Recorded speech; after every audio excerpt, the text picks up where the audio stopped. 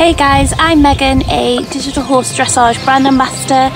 from Pembrokeshire and when all this is over I'm sure we're all going to appreciate the things we can do that little bit more.